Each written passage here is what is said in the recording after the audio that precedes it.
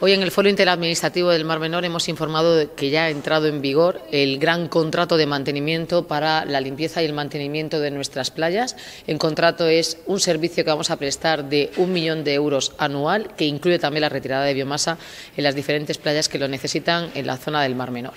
Es eh, una actuación tanto de limpieza como de remangado de las playas que tienen el problema con las lluvias y sobre todo con las lluvias torrenciales del desplazamiento de la arena para reponer esa arena en las playas y también de la retirada de carrizos que se ha incrementado por la presencia, la alta presencia de agua dulce proveniente del freático, del acuífero, que cada vez está más alto y que por tanto seguimos reivindicando que desde la Confederación Hidrográfica se actúe tanto en la estación de bombeo de la Rambla del Albujón para que esté a pleno rendimiento como en las actuaciones necesarias para reducir el freático del acuífero. Y también hemos informado que el proyecto para la retirada de biomasa y sobre todo de y de secos en algunas de las zonas del Mar Menor que estamos acometiendo con los estudios de cuál es el estado de las playas y también la metodología y las alternativas que necesitamos que se apliquen para retirar esos fangos y esos secos eh, sigue avanzando. Ya tenemos la primera fase del estado de las zonas de baño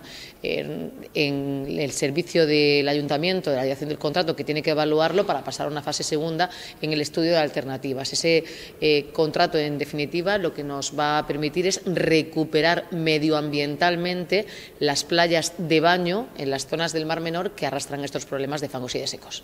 Por tanto, a las actuaciones que ya se han realizado con el servicio de retirada de biomasa que ha mantenido de manera permanente la comunidad autónoma y que nos ha permitido eh, quitar de nuestras playas 26.000 toneladas en toda la zona del Mar Menor durante todo el año, hay que sumar también las actuaciones específicas, concretas, puntuales que hemos desarrollado desde el Ayuntamiento de Cartagena con la retirada de biomasa de una tonelada de media diaria que sin duda ha permitido reducir la presencia tanto de nitrógeno como de fósforo en las playas del Mar Menor y nos ha permitido que, en verano en las playas hayan podido estar abiertas al baño y que no se haya producido ningún episodio de anoxia.